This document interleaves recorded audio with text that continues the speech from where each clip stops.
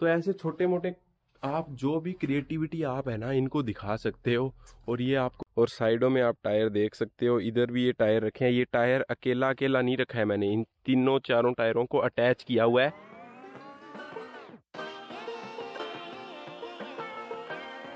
Hello एक नई video में आपका स्वागत है। आज मेरा आखिरी दिन है वॉल्टियरिंग का इस जगह का। तो मैं आपको सब कुछ दिखाऊँगा जो जो मैंने पेंटिंग वगैरह सब कुछ किया और अभी मैं स्विमिंग पूल के नज़ारे ले रहा हूँ। आप देख सकते हो क्या ज़बरदस्त जगह है यहाँ पर। और अभी अगर मैं आपको लोकेशन बताऊँ तो मैं अभी हूँ जाम्बिया के अंदर सियावांगा नाम का एक टाउन है जहाँ पर कि एक ईगल्स रेस्ट रिजॉर्ट है, जहाँ पर कि मैं वॉल्टियरिंग कर रहा था पिछले साढ़े तीन हफ्तों से। तो मतलब लगभग मान लो एक महीने से मैं यहीं था। और जो जो मैंने यहाँ पर वॉल्टियरिंग में काम किया है, वो मैं सब कुछ आपको आज दिखाऊँगा, जो पेंटिंग मैंने की है, जो चीज़ यहाँ पर बनाई है, सब कुछ मैं आपको आज दिखाने वाला हूँ इस वीडियो में। तो चलो, पहले थोड़ा सा पूल के मज़े ले लेते हैं और फिर मैं आपको दिखाता हूँ कि क्या कुछ यहाँ पर मैंने किया है।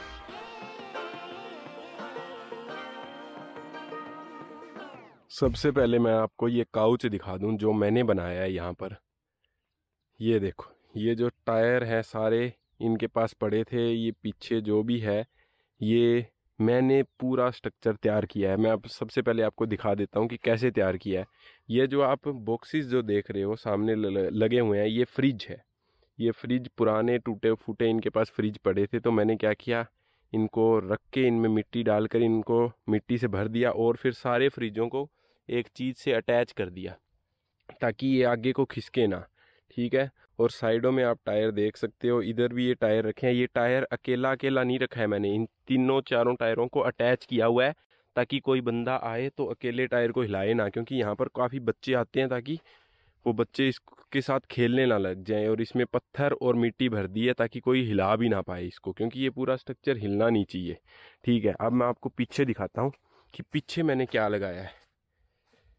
और ये जो पीछे आप देख रहे हो ये लकड़ी के इनके पास कुछ सामान पड़ा था तो मैंने ये लकड़ी का ये यूज़ कर कर इसको पीछे से बना दिया और ये जो ऊपर जो चीज़ लगी हुई है, ये ब्राउन, ये इनके पास वेस्ट मटेरियल पड़ा था, जैसे कि विंडो के आगे आप कवर नहीं लगाते, जैसे पर्दे लगाते हैं तो ये वैसे पर्दे थे तो मैंने यहाँ पर लगा दिए, ताकि सारा जो भी वेस्ट मटेरियल है, वो सारा अच्छे से यूज़ हो जाए।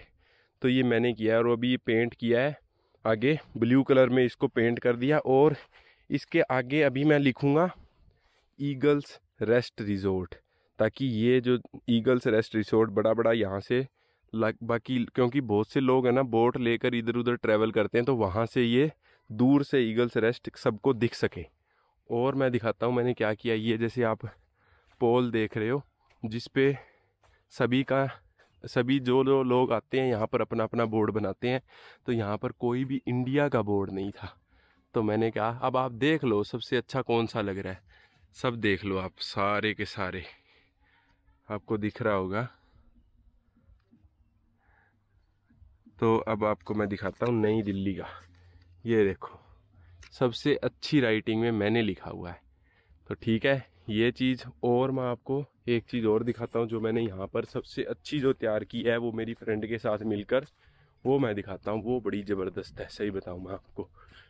क्योंकि वो जगह कोजी कॉर्नर नाम की एक जगह है, जिसमें मैंने उसको बिल्कुल अच्छे से तैयार कर दिया, जो कि बिल्कुल गंदी पड़ी थी। वो भी मैं वीडियो में डाल दूँगा कि कैसी पहले थी और अब कैसी हो गई है। वो भी मैं आपको दिखा दूँगा यहाँ पर। तो चलो, ऊपर चलते हैं। आपको कोजी कॉर्नर दिखाता हूँ। ये जो आप सामने देख रहे हो ना, ये शैले नंबर नौ है और इसमें ना तेरह अगस्त को कोई इंडियन कपल आ रहा है। जिसकी शादी है तेरह अगस्त को, और वो हनीमून के लिए इधर आ रहा है। तो इसके लिए हम, ये ना कोजी कॉर्नर है यहाँ का, वो हम तैयार कर रहे हैं, वो मैं आपको दिखाता हूँ। ये इसको पेंट कर रही है। मेरा काम है कि इसमें ये पत्थर डाल लें ताकि ये मिट्टी जैसा ना दिखे, क्योंकि यहाँ पर काफ़ी मिट्टी है। तो ये बीच से उठाकर पत्थर, मैंने वो रखी हुई है छलनी, उससे छान कर मिट्टी अलग निकल जाती है, पत्थर अलग निकल जाते हैं तो वो पत्थर बकेट में डाल के यहाँ पर डालने हैं।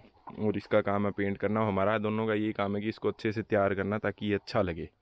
बस वही काम हम कर रहे हैं। देखो ऐसे काम आपको करने पड़ते हैं वॉल्टियरिंग जब आप करते हैं।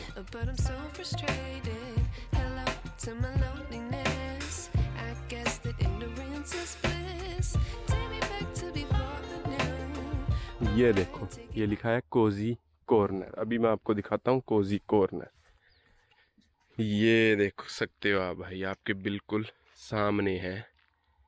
ये जगह ना इतनी मिट्टी में भरी हुई थी बिल्कुल यहाँ पर कचरा गंद पड़ा हुआ था।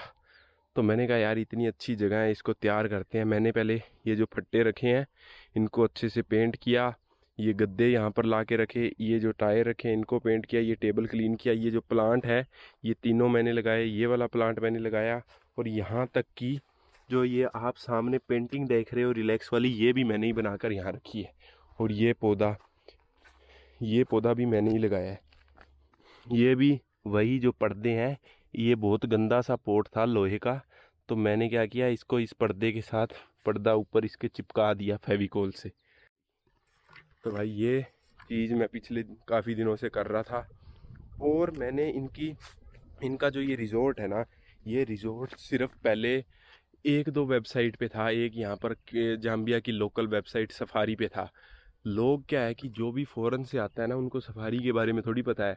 वो बुकिंग डॉट कॉम या फिर हॉस्टल वर्ल्ड या इन वेबसाइट से होटल बुकिंग करते हैं। तो इनको पता नहीं था बुकिंग डॉट कॉम के बारे में तो मैंने इनको बुकिंग डॉट कॉम पर रजिस्टर करवा के दिया। और आपको मैं उधर कैंपिंग साइट में, आपको पहले मैंने दिखाई थी ना कैंपिंग साइट में, काफ़ी मैंने पत्थर, चलो मैं आपको वहाँ जाकर दिखाई देता हूँ शायद मैंने। ये देखो, यहाँ से इनकी ना कैंपिंग साइट शुरू होती है। तो ये कैंपिंग वाला जो साइन है ना, ये भी मैंने ही बनाया हुआ है यहाँ पर। ये देखो, ये किए हो गया और आगे आगे धीरे धीरे मैं दिखाता हूँ। यहाँ पर कुछ भी नहीं था मतलब कोई भी चीज़ पेंट नहीं की हुई थी, कुछ भी। शुरू शुरू में मैंने आपको दिखाया था, ये जो पत्थर में हम, मैं वाइट कलर में पेंट कर रहा था, इस पर मैंने लिख दिया कैंप नंबर वन इसमें मैंने अकेले ने नहीं किया, जो मेरी फ्रेंड मेरे साथ थी, उसने भी मेरा काफ़ी साथ दिया। तो हम दोनों ने मिलकर किया है। बाकी काउच वाला जो काम है वो काउच मैंने अकेले ने किया है। जैसे इनके ना बटन लगे हुए हैं लाइट ऑन करने के तो इनके ऊपर ये चीज़ लगी हुई थी लोहे की। तो मैंने इनको इस कलर में पेंट करके थोड़ा थोड़ा ये कर दिया। और ये जो डस्टबिन है ये भी मैंने पेंट किया। ये सारी चीज़ें ये काम होते हैं। जैसे ये इनकी सात कैंपिंग साइट सा, सात है। तो सात कैंपिंग साइट सबके मैंने नंबर लगा दिए पहले। नंबर नहीं लगे हुए थे। लोग क्या है कंफ्यूज हो जाते थे कि कौन सी साइट हमारी है कौन सी नहीं। तो ये मैंने सब काम किया है।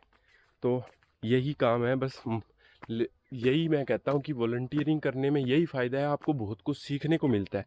क्रिएटिविटी आती है। हम्म, बस आप बंदा फ्री में रहना मिल जाए खाने को मिल जाए फ्री में दूसरे देश में और उसमें थोड़ा बहुत सीखने को भी मिल रहा है तो अब इससे ज़्यादा क्या ही होगा। आप देखो छोटे छोटे काम होते हैं, जैसे अब ये जेंट्स का साइन मैंने बना दिया यहाँ पर। अब बात पता है क्या है, लोग वॉल्टियर को क्यों बुलाते हैं, वो चीज़ मैं आपको बताता हूँ। क्या होता है कि अब ये देखो छोटा सा जेंट्स का साइन है, इनका पुराना हो गया, इसको रंग करना है। अब इसको रंग करने के लिए कोई बंदा पेंटर को थोड़ी बुलाएगा। अब पेंटर को बुलाएगा तो कोई बड़ा काम हो, कोई पूरी दीवार या कुछ और पेंट करना हो, तब बुलाते हैं ना पेंटर को। ऐसे तो नहीं है कि कोई भी काम के लिए छोटे मोटे काम के लिए पेंटर को बुला लिया। इसीलिए ये वॉल्टियर हायर करते हैं ताकि ये छोटे मोटे काम वॉल्टियर कर सके, साथ में हम उनको फ्री में रहने को दे देंगे, इनका कुछ खर्चा नहीं लगेगा और इनके छोटे मोटे जो भी काम होते हैं वो हो जाते हैं। अब ये देखो, ये इनकी किचन है। अब यहाँ पे ये इलेक्ट्रिसिटी बॉक्स था तो मैंने सोचा, ये इलेक्ट्रिसिटी का साइन बना देते हैं यहाँ पर। और ये यहाँ पर मैंने एक पत्थर पे वाइट सूरज मतलब वाइट कलर करके इस पे सन बनाकर इनकी किचन की विंडो में रख दिया। तो ऐसे छोटे मोटे आप जो भी क्रिएटिविटी आप है ना, इनको दिखा सकते हो और ये आपको रोकते नहीं है। तो ऐसे ही काम होते हैं बस। मतलब किसी, कोई पेंट कर दिया, कभी कुछ कर दिया और इनके घर के लिए मैंने हेमक भी बनाए थे। दो हेमक बनाए थे, वो मैंने वहाँ रखे हुए हैं, उनके, उन्होंने अपने घर पे लगाए हुए हैं। बस ये काम होते हैं भाई। इसीलिए मैं कहता हूँ कि आप सब लोगों को ट्रैवल करना चाहिए तो सिर्फ़ वॉल्टियरिंग के साथ ही करना चाहिए। एक आपको एक्सपीरियंस होता है। एक चीज़ और मैं बताऊँ आपको कि अब मैंने ये सोफ़ा बनाया, इतना बड़ा काउच बनाया, ये पेंटिंग की यहाँ पर, ये स्टोन मैंने रखे हुए हैं। तो मैं, ये लोग मुझे याद करेंगे कि एक इंडिया से बंदा आया था, वो ये चीज़ बना के गया, है? और मुझे भी क्या फील होगा कि हाँ मैंने इस देश में काउच बनाया था, मेरे लिए स्टोरीज होगी अलग अलग देश में। तो बस इसी लिए मैं ऐसे ट्रैवल करना चाहता हूँ, क्योंकि बहुत से लोग हैं ट्रैवलर यूट्यूबर जो है, वो वीडियो बना रहे हैं, वो ऐसी वीडियो बना रहे हैं जिसमें कि आपको बहुत पैसा स्पेंड करना पड़ता है। ठीक है यार, आप करो, मेरे को कोई डाउट नहीं है, जो जैसी वीडियो बनाना चाहता है, बनाओ। लेकिन जो बंदे वीडियो देख रहे हैं, मैं उनके लिए बोलना चाहता हूँ कि तुम लोग ट्रैवल करना चाहते हो, तभी वीडियो देख रहे हो ना। तो मैं आपको एक ऑप्शन बता रहा हूँ कि जिसमें आप वॉल्टियरिंग करके आराम से फ्री में खाना फ्री में रहना बस, और इससे ज़्यादा क्या चाहिए? बंदे को यार, अब ये तो है नहीं कि टोटली फ्री आपको कुछ तो स्पेंड करना ही पड़ेगा। घर से निकलने के लिए कुछ तो करना ही पड़ेगा ना। आप घर पे भी तो खाना खाते हो तो उसके लिए भी तो पैसा लगता ही होगा। उसके लिए भी तो पैसा चाहिए तो यहाँ पर तो आपका खाने पीने का कोई पैसा ही नहीं है। बस ये है कि आप फ़्लाइट का कोई पैसा लग गया वीज़ा के पैसे लग गए, थोड़े बस के ट्रांसपोर्टेशन के पैसे लग गए। एक बात बताऊँ, मेरा यहाँ पर मैं एक महीने से रुका हूँ। एक सिंगल रुपया नहीं लगा मेरा। एक सिंगल रुपया भी। एक महीने में। हाँ जितना मेरा लगा वीज़ा का, मान लो मेरा यहाँ पर पच्चीस डॉलर का वीज़ा था इसका, पच्चीस डॉलर वो लग गए। तो यही मान लो मेरे टोटल इस देश में अब तक लगे होंगे मान लो दो, चार से पाँच हज़ार रुपये बड़ी मुश्किल से एक महीने में। वो भी मैं लुसाका में रुका था हॉस्टल के अंदर, दब लग गया। अभी यहाँ से मैं जा रहा हूँ लिविंग स्टोन और लिविंग स्टोन में मेरे को फिर से वॉल्टियरिंग का ऑप्शन मिल गया है। आज डेट मैं आपको बता दूँ, डेट है उन्नीस अगस्त। और 19 अगस्त और 3 सितंबर तक मैं लिविंगस्टोन में रुकूँगा फिर वहाँ से मैं जिम्बाब्वे चला जाऊँगा। बस और जिम्बाब्वे भी, भी मेरे पास वॉल्टियर का ऑप्शन पहले से मिला हुआ है तो मेरे को कोई टेंशन लेने की ज़रूरत नहीं है। तो ये ही चीज़ें मैं आपको बताता हूँ कि ताकि तुम लोग भी सीख पाओ और फ्री में ट्रैवल और सस्ता ट्रैवल कर पाओ क्योंकि जो वीडियो लोग बना रहे हैं वो आपके लिए बहुत पैसा खर्च होता है मुझे पता है। मैं जब साउथ अमेरिका की मैंने वीडियो बनाई थी, मैं फिर भी काउच सर्फिंग करता था वहाँ पर। जो लोग नॉर्मली कहीं देश में जाके होटल में रुकते हैं ना, मैं कसम से कह रहा हूँ, बहुत पैसा लगता है उस चीज़ का। लेकिन वॉल्टियरिंग के साथ कोई पैसा नहीं लगेगा, इसीलिए मैं बोलता हूँ कि आप ध्यान दो, इस चीज़ पे अगर ट्रैवलिंग करने का शौक है तो रुको ऐसा, यार आप खुद बताओ, ये रिसोर्ट कोई बुरी चीज़ है, आपको बुरी लग रही है? ये देखो, और छोड़ो, सामने वो बोट दिख रही है ना आपको इतनी बड़ी, सामने देखो, वो बोट पे मैं अभी जा रहा हूँ। अभी पाँच मिनट के बाद इस वीडियो को ख़त्म करने के बाद, और कितने रुपए में? ज़ीरो रुपए में। और वो बोट का प्राइस कितना है? तीन सौ क्वाचा। बारह सौ रुपये की ट्रिप है वो।